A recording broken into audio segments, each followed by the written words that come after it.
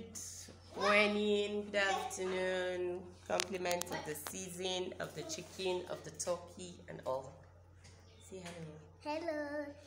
I am. My name is Abby. Hello. My name is Amanda.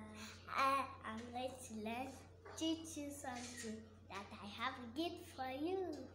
Awesome. Yeah, just said it up. okay, so a quick one. I just want to talk about um, my body butter that I just made yesterday. That's why I have to show you.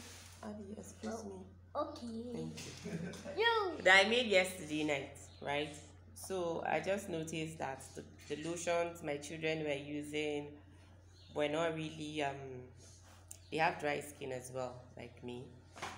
They're not really um was not really giving them so much hydration because of the harmattan and yesterday night or yesterday morning body butter came to mind. So i made this with mango butter shea butter and some oils Yes. jojoba oils and all. And we launched it this morning and it has been wow awesome. Supple smooth on the skin feels just so what now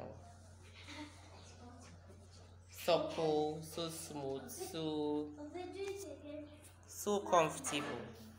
Huh? so i'm going to be doing more. I made it for my kids but i have started using it as well and i think this is what i'm going to be using all through Harmattan if i'm not using my oils so if you want one just say the word just order. I brought it out from the fridge this morning and it's still mm, so smooth and sweet smelling and soft right? And very very good for moisturizing. It has vitamin e to lock in the mo- moisture and keep it there. For this harmattan this is what you need. Trust me.